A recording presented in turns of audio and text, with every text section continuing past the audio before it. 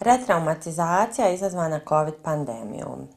Znači, retraumatizacija predstavlja situacije ponavljanja simptoma traumatizacije zbog događaja ili interakcija koje osobe podsjećaju na prethodnu traumatsku iskustvo.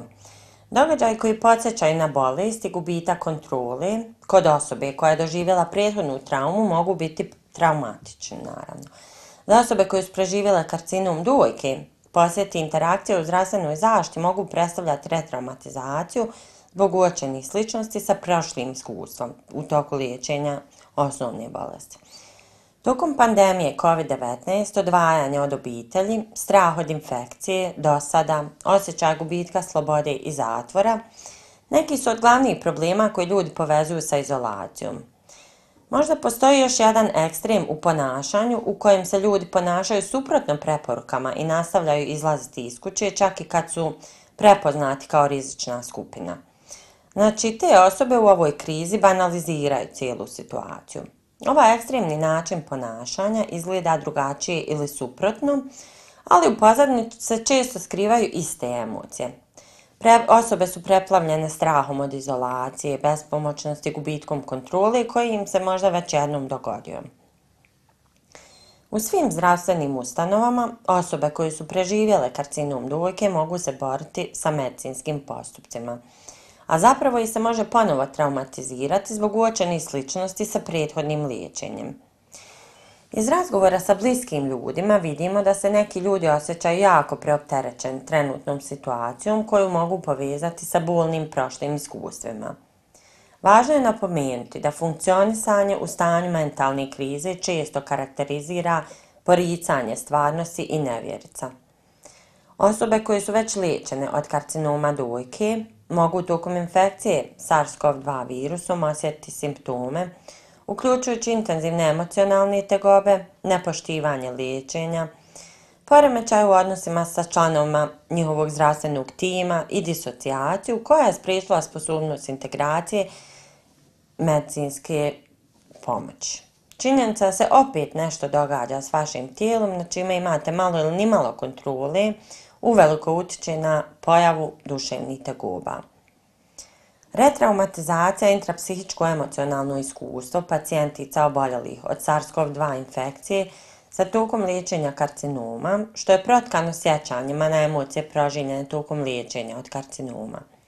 Raspon emocija koje mogu biti okidači je veliki, ali tri su najčešće. Na prvom mjestu je osjećaj nemoći, ranjivosti i nedostatka kontrole. To je najčešći emocionalni okidač. Klijentice sa takvim iskustvom osjećaju da su njihova tijela podložna silama izvan njihove kontrole, to je karcinomu, covidu. Osjećaju smanjenja volje, nedostatku mogućnosti ili izbora i osjećaju da su ranjivi i nemoćni pred pružateljima usluga. Ti osjećaji kao ranjivi i bespomoćni snažno ih podsjete na to koliko su nemoćne i koliko se ranije osjećale ranjivo i nemoćno tokom liječenja od karcinoma.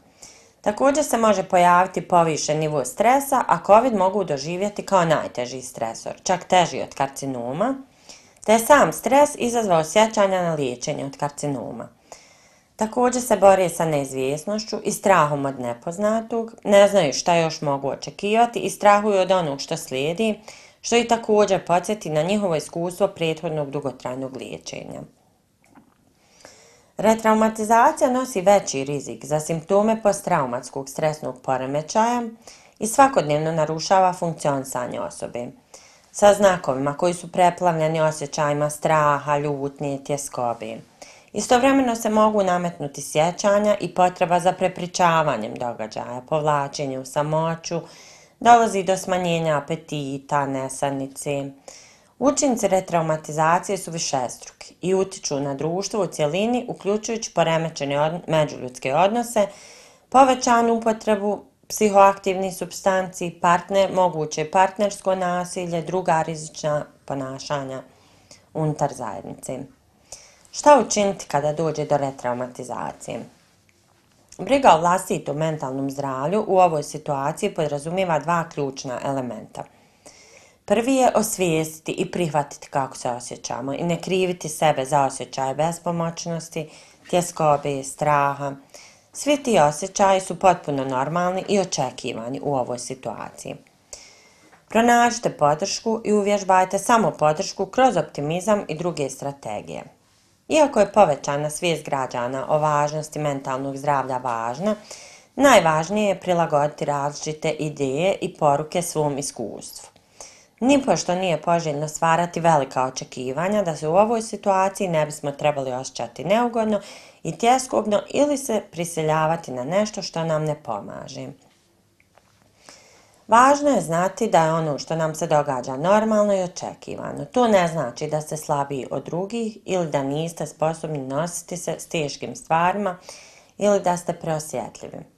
Traumatična iskustva uvijek narušavaju naš osjećaj sigurnosti i doživljaj svijeta kao sigurnog mjesta za nas i naše najmilije, a emocionalni utjecaj traume gotovo je uvijek popraćen intenzivnim emocijama. I na kraju, ako osjetite tjeskobu popraćenu snažnim fiziološkim reakcijama ili zastrašujućim mislima, kada vidite redove ispred apoteka, praznih ulica i kafića, zastanite na trenutak. Recite sebi da je ovo situacija u nekim aspektima slična, ali to nije trauma koju ste preživjeli, to je u prošlosti i ostaće tamo.